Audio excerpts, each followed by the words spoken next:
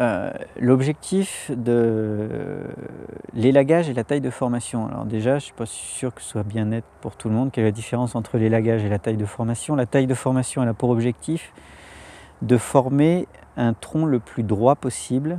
C'est-à-dire que quand il y a une fourche, on va, on va supprimer euh, une des deux branches, on va faire en sorte qu'il y, euh, y ait toujours une dominance apicale, que l'arbre pousse le plus droit possible. Ça, c'est ce qu'on appelle la taille de formation.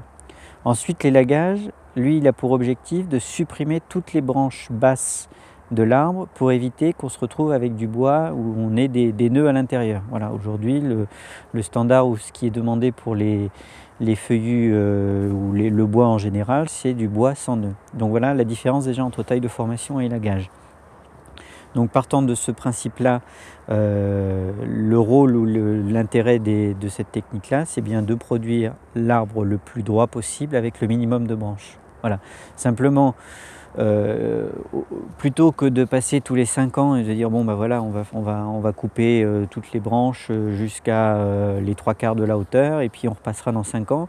C'est pas comme ça que ça marche puisque malheureusement si au bout d'un an ou deux ans on laisse une fourche, après les, les sections sont trop importantes et on n'arrive pas à rééquilibrer l'arbre. Donc il faut passer en élagage et taille de formation dans les systèmes agroforestiers où les arbres sont en très faible densité donc euh, considérés comme des arbres poussant en pleine lumière, il faut passer tous les ans. Il n'y a, pas de, mystère. Il faut suivre la plantation euh, pendant les, les 5, 6, 7 premières années, passer tous les ans systématiquement, couper les fourches, euh, vérifier qu'on a bien une dominance apicale et couper quelques branches basses. Voilà. Et ça, c'est impératif. alors jusqu'à ce que l'arbre ait, ait 5-6 ans, l'opération se fait en un seul passage, généralement au mois de juillet pour que l'arbre ait le temps de cicatriser avant de, passer au stade de la dormance euh, hivernale. Euh, quand l'arbre est un peu plus développé, on a plutôt tendance à faire l'élagage toujours au mois de juillet.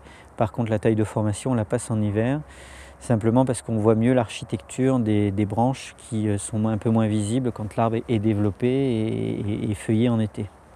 Voilà.